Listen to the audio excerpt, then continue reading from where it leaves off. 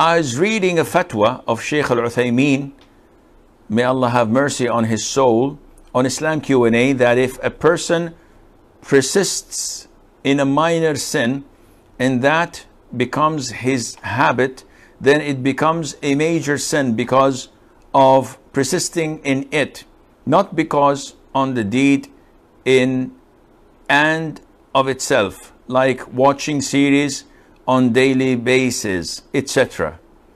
First of all, part of the etiquettes of seeking knowledge is that you do not bring the names of honorable, great, major scholars of Islam and ask about their opinions.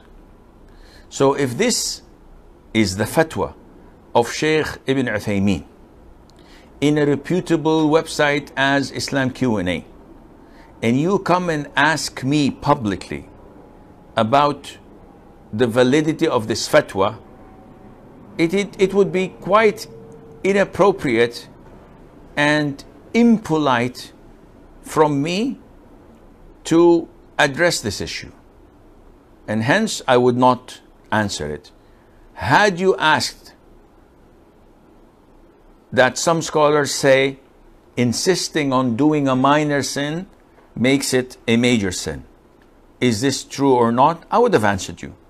But due to the fact that you brought up the name of this great scholar of Islam, Sheikh Muhammad ibn Salih al Uthaymeen, one of the great jurors and scholars, whether he's right or wrong, who am I to answer this inappropriately publicly. So it's like someone coming to say, Sheikh, so and so claims that divorce, when someone asked him about a fatwa over divorce, he said it did not happen. What do you say? This is not fatwa shopping. If a great scholar said something and you asked him, you cannot go around and ask people about it until you find someone that goes against it and pick it. This is cherry picking and it's not permissible. For a student of knowledge, totally inappropriate to hit and clash the opinion of scholars like this.